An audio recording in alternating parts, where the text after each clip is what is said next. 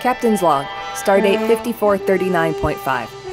While dropping off the medical supplies and our prisoner at Durep 4, we were immediately dispatched to Omega Draconis A to help with an emergency evacuation. This system is. unique. At its center is a black hole with a radiation plume that heats the orbit bodies around it. Starfleet has built a station called Abyss to study the phenomenon. There is also a planet on the opposite side of the orbit named Omega Draconis 1 that houses pockets of a pre warp civilization, and an ancient space station that orbits closer to the black hole. Starfleet is particularly interested in understanding the ancient space station and has been trying to avoid interfering with the pre warp civilization due to the Prime Directive. Soon after arriving in the system, the Lexington was hailed by the commander of the science station Abyss. On screen, Captain Carol Moore said, Communications Officer Astera Nemec put the collar on the front screen. Standing in front of an array of technical equipment was a Vulcan with a single-minded intensity common among her people. I am Commander Dr. Tala of the Federation Science Station Abyss, she said. I am Captain Carol Moore of the Starship Lexington. We were ordered here by... Tala interrupted Captain Moore, stating, Abyss Station has been monitoring the planet and the ancient alien facility within the system. The facility holds the most interest to us. It is approximately the size of Earth, and we hypothesize that the station was built by the preservers sometime before the star went supernova. Until now, the facility has been silent and dark with no way to gain entrance to uncover its secrets. We have tried scanning it, but the base has a shell of neutronium, which prevents our sensors from penetrating. Several weeks ago, one of our research teams located what turned out to be an ancient computer terminal on the exterior of the alien base. After much study, they were able to activate an interface with the system. The last transmission indicated that they opened a doorway on the surface. That is when the base began to activate. Tala paused a moment to press some buttons. Captain Moore took the opportunity to interject. Activate? What do you mean? Other images replaced Tala. They were of the base, which was now covered in glowing meridians crisscrossing the surface. Tala's voice spoke over the images. After it became active, the base began generating gravitational distortions that somehow tilted the black hole very slowly. The immediate danger is that the hole's radiation jets are now aimed along the galactic plane.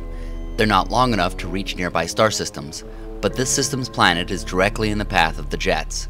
The gamma rays will certainly devastate the population.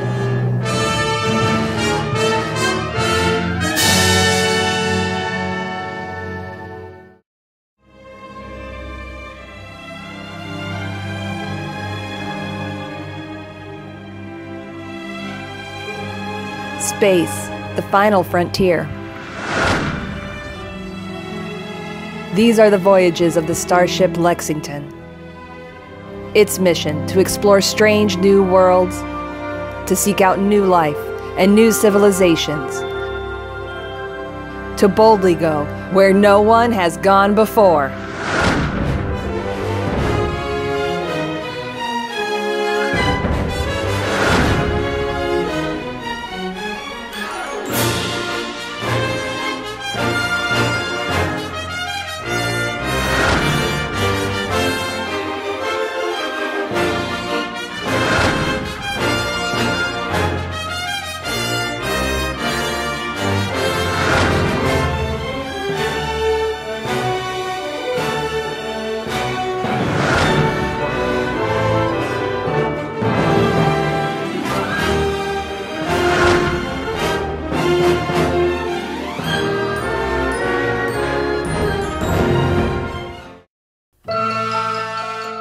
Captain's Log Supplemental.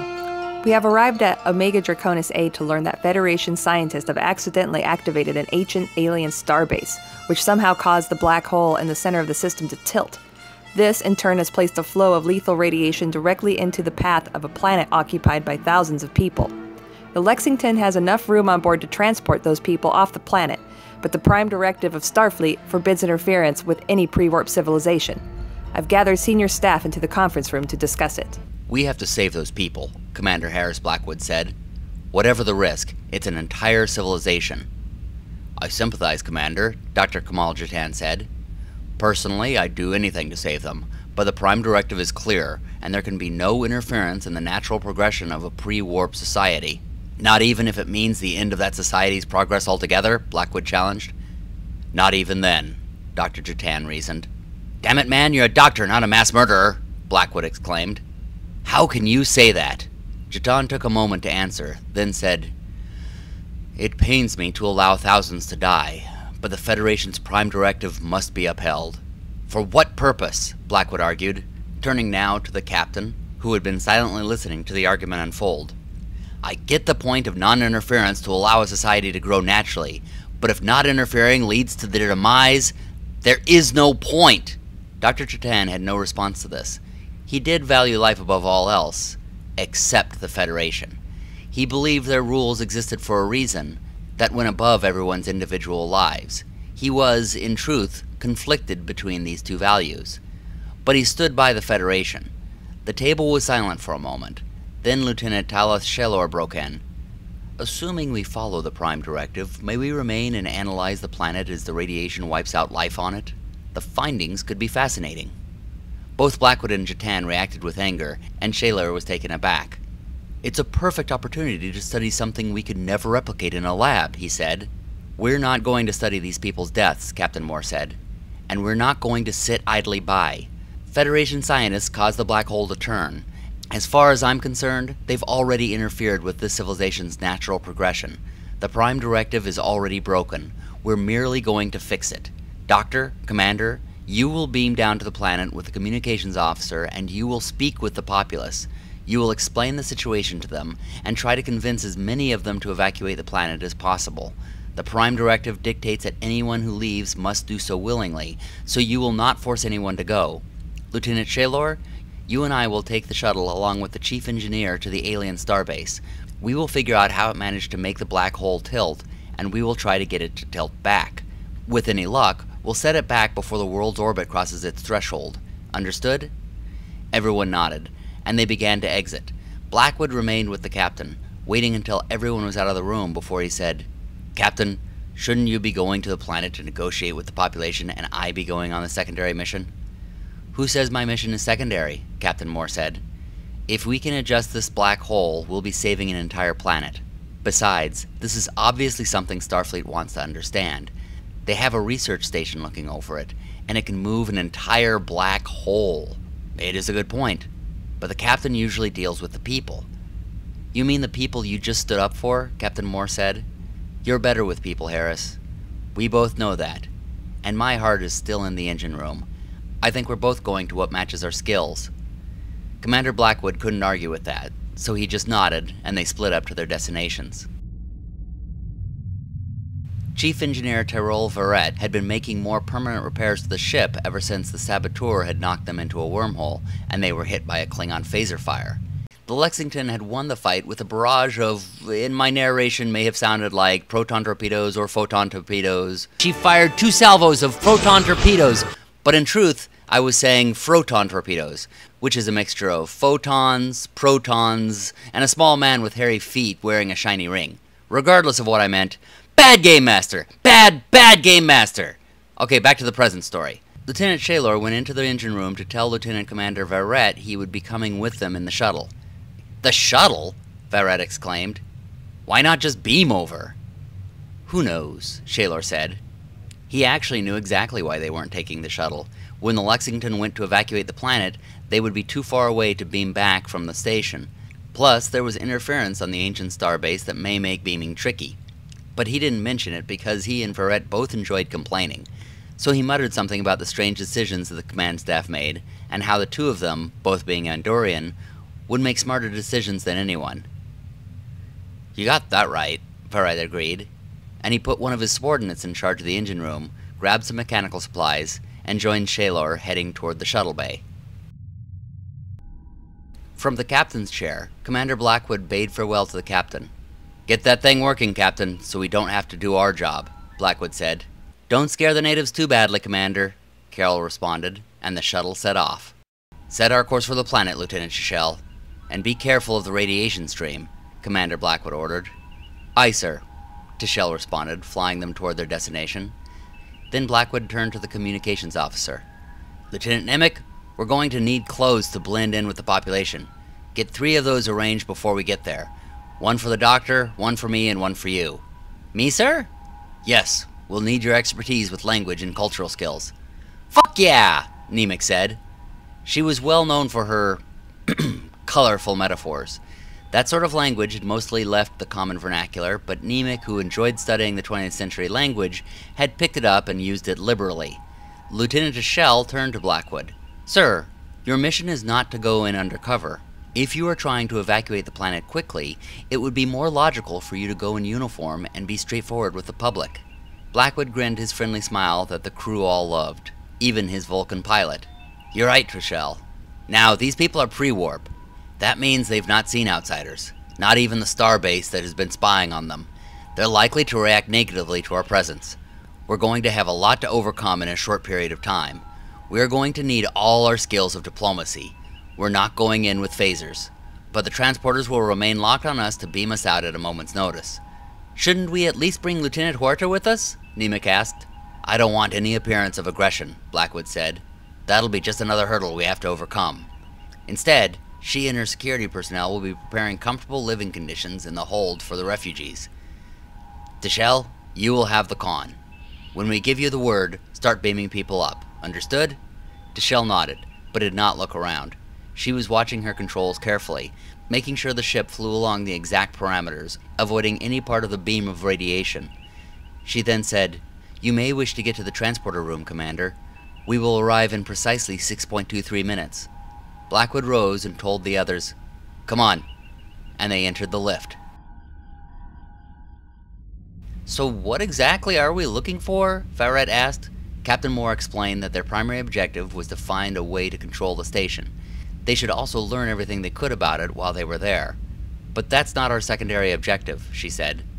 There will be more time for study later. There's a crew of Starfleet scientists who went missing while exploring this thing.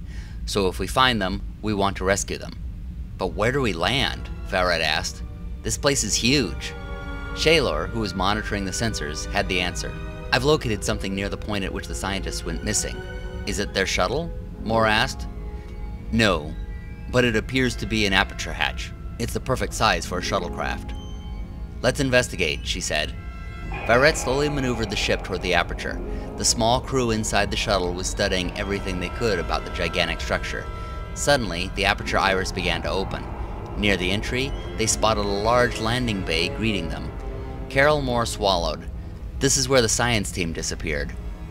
Were they simply walking into the same trap? They had nowhere else to go, so she ordered them forward, and they drifted into the mouth of the alien space station. The Lexington arrived at Omega Draconis 1 with four hours remaining before the planet crossed the deadly threshold. Along the way, Communications Officer Nemec had Abyss Station send her whatever information they had learned about the planet and its people over the years of research. She briefed Commander Blackwood as she got it, and was still doing so on their way to the transporter room. The inhabitants of the planet called themselves Ithic, and their world Chakter. They were approximately a thousand in number, across the entire world spread into a few communities. They were the descendants of the survivors of the supernova which occurred over 100,000 years ago. A hundred thousand years? Blackwood asked, stopping. That's what their research says, Nemec responded. How are they not starfaring after a hundred thousand years? Blackwood asked. I'm more amazed that anyone survived a supernova, Jatan said. As they began moving again, Nemec said, Maybe that's in the part they wouldn't send over. The part they wouldn't send over? Yes, Commander. Dr. Tala said some of it was classified. Anyway, what they did send over that seems important is the part about religion. Oh, that's why they haven't developed more, Blackwood began. No, sir, Nemec interrupted. There's very little religious thought on the planet except for some small organizations that resemble social clubs. However, in general, they believe themselves to be a blessed race that is above tragedy and extinction because of their ancestors' survival of the supernova, and their own luck in surviving a fucked up world. So much for posing as gods, Dr. Jatan said. Blackwood agreed, but he was more concerned with how difficult it would be to convince a group of people who believed they were beyond extinction to come with them. With that, the transporter chief beamed them down to the planet's surface. The first thing Carol Moore saw upon entering the station was the researcher's shuttle. It was parked near an entry hatch that led further into the station, and the shuttle had no visible damage. Farret landed their own shuttle next to it while Shaylor made certain the air was breathable. It was. The unknown power source was keeping the lights and gravity on, as well as the breathable atmosphere. And it was also doing something else that was quite curious. The neutronium material that made up the shell of the station was the most dense matter in the universe. Varret and Shaylor shared their theories as to why the neutronium wasn't crushing the entire structure under its weight, while Captain Moore approached the other shuttle, phaser down and set to stun. Reaching the door, she opened it very quickly. Empty. Looking around inside, there was nothing of interest, just the ship's log, which revealed what they already knew that the ship had flown from Abyss Station to here a few weeks ago. Captain Moore came out to find her science and engineering officers still debating over how the station worked, but now it was faster and more heated, and in their native Andorian language. Gentlemen, Moore broke in, I believe it's time we enter the station. The others agreed, and they approached the first door, all of their phasers drawn and on stun. The door opened to reveal an airlock, so they entered the first, waited for the depressurization, then entered the second. There they were faced with a corridor filled with debris. It would be a headache to maneuver through, but then Lieutenant Commander Varret noticed something a path made with phaser fire. I think I just found the path of the researchers, he said. Blackwood, Jatan, and Nemec beamed onto the planet's surface just outside of the largest Ithic settlement. Though it was daytime, light was dim, save for the bright artificial light coming from the nearby village. They could see a large number of forms walking around, in and out of buildings and along the roads. It was a normal day for them, unaware that their lives were about to change forever. As Blackwood began to lead the others into the town, he asked Nemec, How much will we be able to communicate with them? Nemec answered, Abyss Station has gathered enough of their syntax to form a cohesive conversation, but fuck if I know how much of it will work. You might want to refrain from your colorful metaphors while we're here, Blackwood said. Who knows what they'll translate to? Aye, sir, Nemec said. But now they were in the town, walking among the population of bipedal humanoids who bore dark, rough skin that was pitted with a series of structures that Jatan theorized helped prevent damage from radiation exposure. Their eyes were large and cat like that allowed them to see in the dim light of their world. Their clothing consisted primarily of metallic decorations and priceless jewelry. Blackwood whispered to his group, Remember, these people are likely to be startled at our presence. They probably won't have any idea how to handle outsiders, so we'll have to take the initiative. Just then, a larger than life Ithic emerged from one of the bigger buildings. It bore some of the most colorful and fancy jewelry of all the people. It walked straight up to the Lexington crew members with its arms outstretched, as if it had expected them, and it said boldly in its own language, Welcome to Chakter, weary travelers. We can only imagine the joy you must feel at having reached the center of the universe.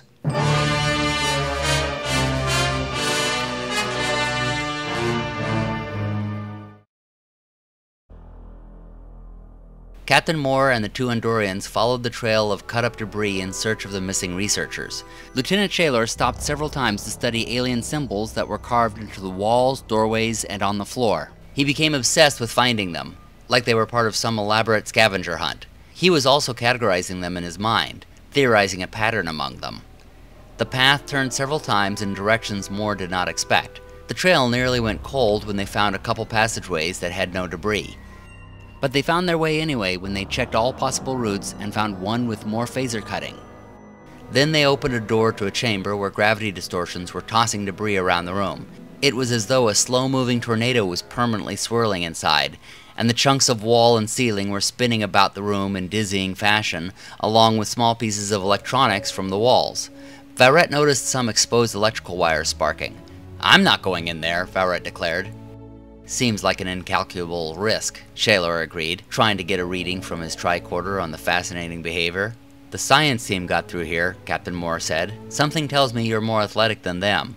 Moore was not bluffing in regard to Varret. He was well known for being a sportsman on board the ship, rivaling only Leandra Huerta, the chief of security.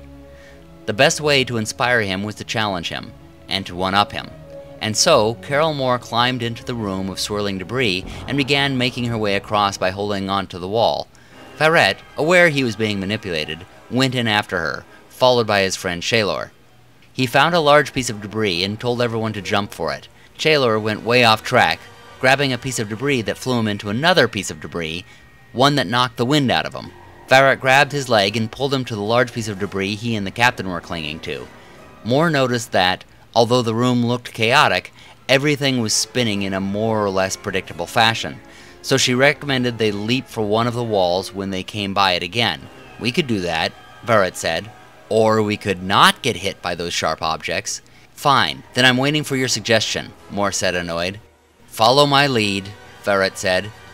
He guided Shaylor and leapt in front of Moore as they hopped first to another piece of large debris, then to a wall where they kicked off to bring them to the opposite wall and the doorway to the next room. It was here Verret lost his grip, hit the wall, and lost hold of Shaylor. Shaylor banged against another wall. He couldn't take much more abuse, but he pulled himself together and used the momentum of the room and what he had learned about the debris platform while watching it, and he scrambled to the door and through it. Moore and Verret quickly followed, closing the hatch behind them. Are there more members of your society on their way? The leader of the village asked Commander Blackwood. Or are you the only members of your village with the moral uprightness, intelligence, and strength to be able to enter our realm? His words were perfectly translated by the universal translators in their ears. Blackwood was too shocked to answer immediately. The villagers laughed, as did their apparent leader, who had greeted the Lexington crew. See how they are so in awe of meeting us, the village leader declared to those assembled. For it is not every day that you enter paradise. Commander, I think it's time for one of my colorful metaphors, Nemec said. No, don't, Blackwood said, shaking off his shock. Then he said to the speaker before him, We are shocked. We thought you would be shocked by the appearance of aliens on your world. We are not surprised. We long knew other races lived on other worlds, and one day you would seek out our perfect land and wish to live among us in the most perfect of all places.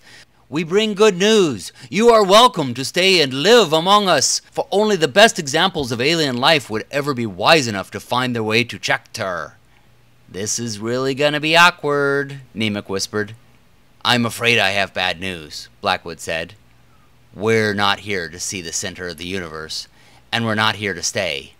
I'm afraid to tell you that this world is about to go through another disaster, one that will kill everyone on it. But we have a way out, and we can save you all if you choose to come with us. Though some of the villagers appeared afraid at hearing Blackwood's words, the mayor did not appear to be concerned at all. We have seen our share of perilous situations, he said, and we've always pulled through. The cataclysm that killed so many of our ancestors also exposed the great minerals of iron, quartz, and gemstones that we all enjoy. We now all live in gilded homes because of the tribulations our ancestors lived through. Whatever trouble it may be, I am sure we will come out better than before. Now Dr. Jatan stepped forward. Not this time, he said. Look on the horizon. That's Trillium D radiation. It may be less dramatic than a supernova, but it will fry all of your cells instantly. Those unlucky enough not to die immediately will wish they had, as they die slowly and painfully, something beyond my ability to heal. Now Lieutenant Nemec stepped forward and said, Your deaths would be needless, but we can protect you from the damage and relocate you to somewhere better. Blackwood, Jatan, and Nemec were all excellent diplomats when they weren't rolling critical failures. Oh, fuck it all! And cussing up a storm. They were getting through to the mayor and his people. Some of them looked fearful and uncertain. It seemed they might soon come with them. But then the mayor switched his tone, declaring, We should discuss this at length. Who wishes to make their voices heard on this matter? Dozens from the crowd began to speak at once, and it quickly degraded into chaos. Captain Moore's team came upon a room in ruins. Entire chunks of the wall and ceiling were scattered about the floor, and splinters of what was once furniture littered the area. Shaylor stopped suddenly, spotting the limbs of a human sticking out from under debris. I found the research team, he said, pointing at the body. Indeed, the blue and white sleeves were that of someone in Starfleet. Carol Moore saw another set of limbs under some more debris. Then Verret spotted something else. Look out! He shouted, pushing away the captain and drawing his phaser.